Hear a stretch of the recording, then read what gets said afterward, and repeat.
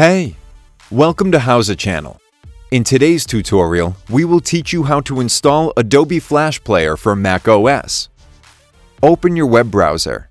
Paste the link you can find in the description box below. Open the web page. Select your OS in Step 1. Select your browsers in Step 2. Click on Download Now. Go to Downloads and open the installation file. Click on Install Adobe Flash Player. Click on Open in the pop-up window. Enter your password and click OK.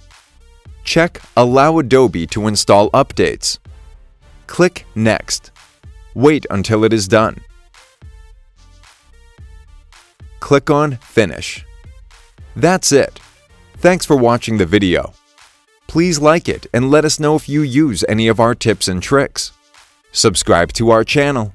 We upload new tutorials every day. See ya!